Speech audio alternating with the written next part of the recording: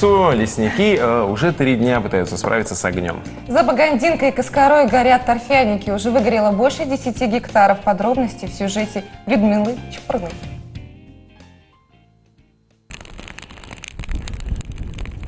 Невысокий огонь и дым на несколько километров. Болото близ Багандинки потихоньку выгорает. Справиться с огнем пока удается лесничим. В запасе у каждого огнеборца в специальном рюкзаке всего 15 литров воды. Этого количества хватает всего на 70-80 квадратных метров. Чтобы не бежать до машины и не тратить время, воду берут прямо из ближайшей лужи. Хотя это делать нежелательно. Ну, потому что забивается, клапана забивается, сам насос вот забивается, как бы такое нежелательно, но если как бы пожар, смотря какой пожар, если приходится и всякой водой, бывает, самое главное, что потушить. А здесь дым без огня. Это горят торфяники. Вот уже третий день подряд. Площадь небольшая, всего 2 гектара. Но потушить такой пожар куда сложнее. В первую очередь лесники делают подкоп, снимают выгоревший первый слой. Ведь иначе не потушить. Получается как уголь, оболочка углевая вот здесь, в стенках.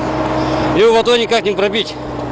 Чтобы пробить, надо сперва убрать надо эту оболочку, а потом заливать. А дальше проливают, пока зола, почва и уголь не станут единой кашицей. Ведь торф может гореть и без доступа кислорода, даже на большой глубине. Поэтому просто намочить верхний слой недостаточно. Надо буквально наводнить почву. Они такое свойство и тепло отдает. И она тут же, вот мы сейчас льем, и она следом э, это, просушивает и горит опять же. Поэтому на один квадратный метр торфяника необходимо вылить один кубический метр воды, иначе не помогает. Но этот очаг без Багандинки не единственный в Тюменском районе. Сейчас торфяники горят еще в пяти местах. И это только кажется, что сгорает лишь трава. В такой природной печке погибают и деревья. Если его не остановить, вот этот лес через недельку весь упал бы.